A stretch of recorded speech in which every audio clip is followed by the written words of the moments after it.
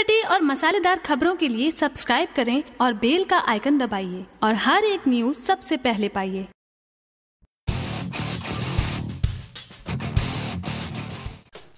बॉलीवुड के खिलाड़ी अक्षय कुमार का जादू। वैसे तो बॉक्स ऑफ़िस पर हमेशा चलती रहती है और इनकी फ़िल्में हमेशा बॉक्स ऑफ़िस पर धमाल मचाती है। अक्षय कुमार हमेशा सोशल मुद्दे पर फ़िल्म बनाती है और उनकी फ़िल्में हमेशा बॉक्स ऑफ़िस पर ज़बरदस्त सक्सेस पाती है। इसी कड़ी में अक्षय कुमार की पैडमैन एक बार फिर से बॉक्स ऑफ़िस पर धमाल मचाना चालू कर दिया है। जी हाँ अक्षय कुमार की पैडमैन नौ फरवरी से पूरे भारत में एक साथ रिलीज़ किया जा रहा है। तो वहीं पैडमैन ने पहले से ही एडवांस बुकिंग में ज़बरदस्त कलेक्शन का इजाफा देखा जा रहा है। आपको बता दें कि अक्षय कुमार की पैडमैन की एडवांस बुकिंग कई सारी साइडों पे शुरू कर दिया गया है, जिसके लगी ताबा तोड़ टिकट अभी से ही बुकिंग शुरू किया हो चुकी है। उम्मीद जताई जा रही है की अक्षय कुमार की पैडमैन एडवांस बुकिंग ही करीब सौ करोड़ के ज़्यादा का कलेक्शन कर सकती है। आपको बता दें की अक्षय सोशल मुद्दे पर हमेशा फ़िल्में बनाते हैं और इस बार पैडमैन पर सभी बॉलीवुड के इंडस्ट्री ने पैडमैन के लिए लगातार ट्यूट करते हुए नज़र आ रहे हैं। वहीं कई अभिनेत्रियों ने भी अक्षय कुमार की पैडमैन को काफ़ी ज़्यादा सराहाया है। आपको बता दें कि फ़िल्म का ट्रेलर पहले ही यूट्यूब पर जारी कर दिया गया है, जिसे दर्शक बेहद ज़्यादा पसंद कर रहे हैं। आपको बताते चले कि अक्षय कुमार की पैडमैन 26 जनवरी को ही रिलीज़ होने वाली थी, लेकिन अक्षय ने इस फ़िल्म का रिलीज़ डेट टालकर आगे बढ़ा दिया था। अब देखना यह है कि अक्षय कुमार की पैडमैन बॉक्स ऑफ़िस पर क्या धमाल मचाती है। या तो शुक्रवार को बाद ही पता चल पाएगी।